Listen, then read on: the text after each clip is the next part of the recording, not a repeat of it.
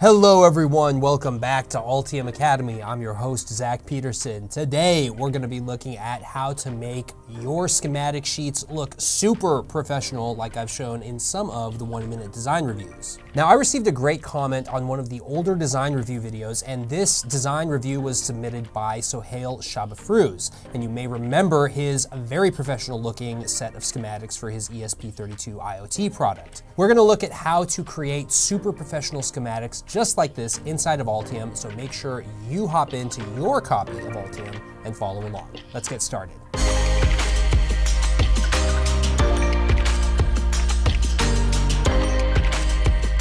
Now in this video, we're going to look at how to use the drawing tools as well as other features inside Altium to create extremely professional looking schematics. Now this video was inspired by a comment on one of our older design review videos, and this design came from Sohail Shabafruz. This comment from Unicode String writes, how did he make such a detailed documents in AD? Is there any tutorial for doing this? We have some other great comments on this video. Bawia writes, Awesome work. Sane8827 writes, That was so beautiful. Mr. Tuckers2848 writes, That's so clean and not chicken scratch as how some engineers show their work. Well, I agree with all those comments. They are very nice schematics, and I've gone ahead and pulled up the original schematic document here on screen, which was sent in to me by Sohail Shabafruz. So here we can see some of the features that folks are referencing in those comments. Here we have a very nice, very detailed cover page. We have some notes here.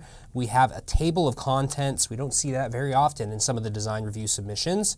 And we have some images of the final layout. Here, as we scroll through, we have a very beautifully drawn block diagram. And then we eventually get into the actual circuitry that was created for this PCB design. Now, one thing that's really nice about this circuitry is that it's not just using the default color scheme. And I will admit, I am very guilty of often just using the default color scheme. And that's okay, there's nothing wrong with it. But you can tell that the folks that created these schematics really put some time into making them look unique. As we scroll through here, you can see some other features such as very nice identifiers for the various circuits that appear in the design. And they even have a very clear, very nice looking title block with a company logo. And it's all of those little details that really matter if you want to make your schematics look super professional. So now we've got an idea of what type of features we're looking to include in some of our schematics. Let's go ahead and hop into Altium and we'll see what tools are available in the schematic editor to create some of these features that you see in this PDF. Now here I have a blank schematic pulled up inside Altium's schematic editor, and I want to start at the very foundation for a good schematic to make it look super professional, and that is the title block. Now as you can see here in the default blank schematic, you do have some entries for a title block, but what I like to do is actually apply a template that includes parameters for my title block. So let me show you what I mean. If you go up here to design and sheet templates, you can then select from one of the built-in templates or you can select from your own template. Now I think it's a very good idea as any designer that wants to do this professionally to have your own sheet templates, especially if you're working as a freelance designer and you're going to be delivering things for clients. So you can have your templates located locally or you can just load them from a file. Or as you can see here, I have templates that I have placed on my server because I'm using Altium 365. I can select, for example, NWES template. You'll see here I can apply it to all the schematic sheets in the project or just one document. Here I'm just going to leave it as just this document because we only have this sheet. And then I always do replace all matching parameters just in case there are any parameters in the existing template that I want to update. When I go ahead and click OK, you can see here that we have some information that automatically loads into the title block area. So here you can see we have a logo. You can see here that the logo is transparent. There is no white color in this logo. I've made that logo transparent intentionally. And then you can see here we have the company address. And then we have some parameters here that are embedded inside of the sheet template. Now, how do we get these parameters to populate with some information? Well, what we can do is we can go into the project options and here under the parameters tab, we can then create those parameters. So for example, under project title, I can then call this, let's say, test pro schematics. I'm going to hit OK. And then when I hit OK on this dialog, you see here that test pro schematics just filled in here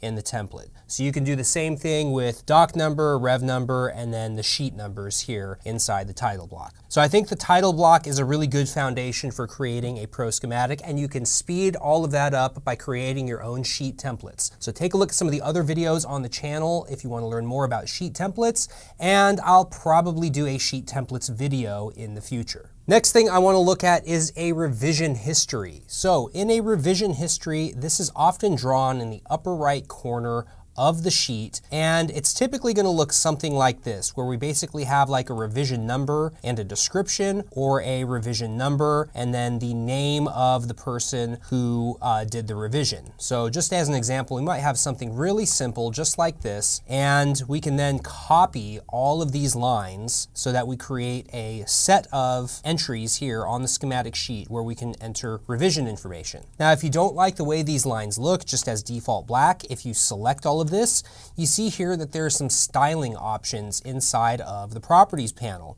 So for example, we can do dashed lines, we can do dotted lines, solid lines, we can even change the line color. For example, I can make them all blue. We can make these medium-sized lines so they're a little bit thicker just some examples of what you can do with some of the drawing tools. Now, once we have our revision history information allocated here in the schematic, we can create some text. For example, this could be a rev number, and then this right here could be, for example, a description. And then we also have some styling options for these text entries. So you see here I've selected both of these text entries. I can change the size of the text. I can change the color of the text. Maybe I want to uh, make it red, for example. I can make the text bold, all the standard styling that you would expect for text that you enter in to a schematic editor. Now this revision history doesn't have to be on this main cover sheet for your schematics, but it is helpful to include it in the overall set of schematics for your project. This way you have a clear history of what was changed in the design as you move between each revision. You can also document it in, for example, a Word document, but I still think it's a good idea to just put a short summary right there in the schematics. That way a reviewer, like myself, is going to know what has changed in the project over time. Now something else we can create here in these schematics is a table of contents. And you may remember from the schematics I showed earlier that there was a table of contents in that cover sheet. Table of contents is also very simple. We can just essentially create it as an area where we're going to enter in text information. And here we can then create our lines. We can apply some styling to them just like we had for the other lines. For example, we can make these medium, maybe turn these lines. Let's make these lines green just for fun. And then we can start adding in some text. So generally with a table of contents, of course, we want to have a sheet number we're starting with 00, zero, as you can tell from the file name up here on the top of the sheet. Let's make this text a little bigger so it's a little easier to read. And then we're going to count down from 00, zero to 01, 02, so on and so forth. And we'll just put each sheet into this list of schematic sheets. Then you want to make sure that you copy this over, put it here, and then you can enter in cover sheet, for example. And one thing to note, the title of a schematic sheet may not always be the same as the file name for the sheet that's stored on your computer. So for example, this one is named cover sheet, but maybe it's good to add a column here and to provide the file name for this schematic. And as you can see here in the projects panel, the actual name of this sheet is not cover sheet, but the file name is 00-cover .schdoc. This is the file name for this sheet. So I think it's always a good idea to include that in a table of contents.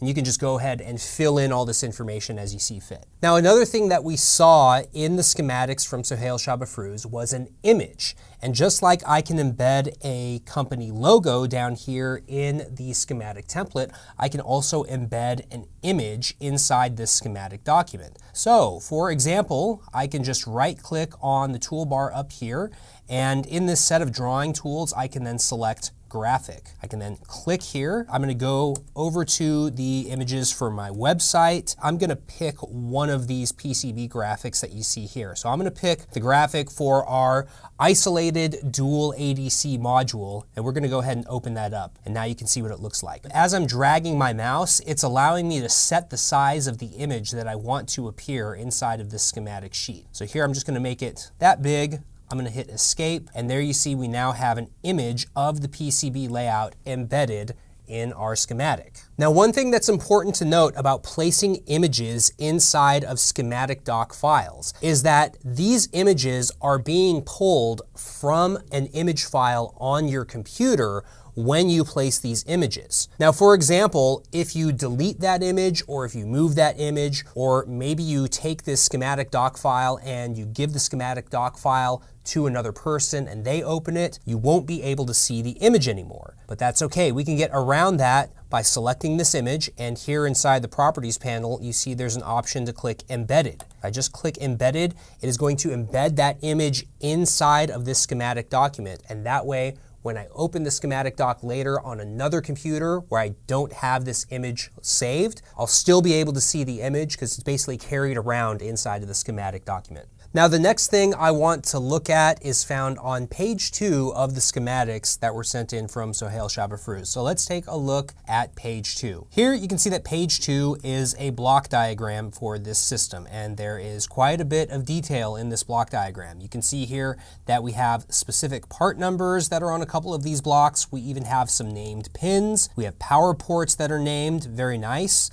We also have some page numbers that are named here and we have some interfaces interfaces that are called out going between these blocks. We also have some interfaces called out going between different blocks and different features on certain pages. So again, pretty detailed here. Now you can use the drawing tools inside the schematic editor in Altium to draw a drawing just like this. And really the only limit to what you can do is based on the amount of time you want to spend drawing out your block diagram. Now, because of course this is a YouTube video, I'm not going to show you how to do this in a huge amount of detail, but what I am going to do is I'm going to just create a new schematic. We'll go ahead and save this as 01 block diagram and add it to our project and then we'll go ahead and apply that same sheet template from the server to this document. And now you can see that we have all of that same information already populated into this schematic as you can see here on screen. So first thing we should do, really basic, is just put a title up here using the text tool, and we're gonna call this 01 block diagram, because that is the title for this sheet, and we'll go ahead and crank up the size on that text, and you can see here we have a very nice title for our block diagram sheet. The next thing you can do is you can use these drawing tools here in the drawing menu to then create all of the different functional blocks for your block diagram. Now you'll notice here that if you draw out one of these rectangles, it looks a lot like the default color scheme that you would see on schematic symbols that you draw inside of a schematic library, for example, or that you draw using the symbol tool when you're creating a new component schematic symbol. Now you can see here that we also do have some color options in the properties panel. So for example, we can apply that blue color that you saw in Sohail Shabafruz's sheets, and we can change the border, for example. We can even have no border or a smallest border, if you like, that matches the color of our block that you see here. So not required, but you can basically set whatever border you want. Once you have this block, for example, you can just go ahead and add in text to the block we're going to call this one, just again for example, power supply 3V3. So this is a 3.3 volt power supply block. And we can then, of course, also change some of the text properties here. We can make that text just a little bit bigger, center it here inside of this block. Maybe we want to make it bold, whatever you can imagine. Next, if you want to include a power port in your block diagram, you can do that, but you shouldn't use the actual power port objects. What you should do is just draw out a power port as you can see I'm doing here. So for example, I'm just drawing out what would be a little 3.3 volt power port. I can then add some text to it. Can see here we'll just call this, let's say for example, 3.3 volts. And then we can apply all of the styling options that we saw earlier. So again, we can increase the size, we can make it bold, we can change the color. And then here, I would recommend you also change the color of these lines so that it's very clear that this is actually a power port. So for example, we can make these blue, we can make the line much thicker, and that basically matches the styling that we saw in the PDF schematics. Now, if you're going to use this styling for a power port, you should use the same styling if you then indicate another power port but with a different voltage or if you also indicate your ground connections. And I would advise indicate your grounding connections if you are doing a system that, for example, has galvanic isolation, so you basically have some different ground nets. You would then need to indicate how those ground nets are connected together in your block diagram for example, if we had an isolated DC-DC converter, the, the best way and most common way to do it is to use a Y-type capacitor. You would want to make sure you include that in the block diagram. Now, we can of course keep creating blocks just by copying this original block and pasting it and that would allow us to keep the same color scheme, and that's going to make sure that everything looks nice and consistent here.